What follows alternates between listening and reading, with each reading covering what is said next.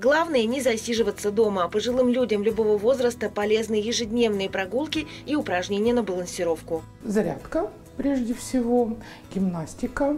Можно заниматься гимнастикой цигун.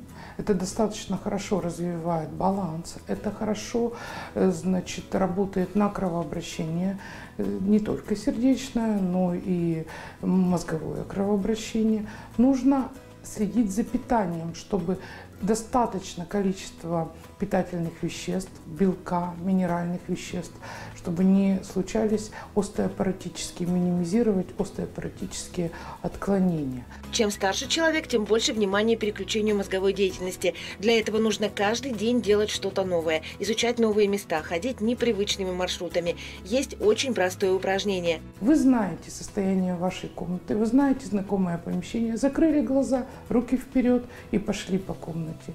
В знакомой ситуации э, с открытыми глазами ходим спиной вперед. Несколько шагов спиной вперед, и у вас уже переключается мозговая деятельность. У пожилых людей слуховые, зрительные и мышечные анализаторы плохо скоординированы. Снижается реакция и кальциевый состав костной системы. Любая жалоба пожилого человека о том, что он упал или ударился, должны насторожить.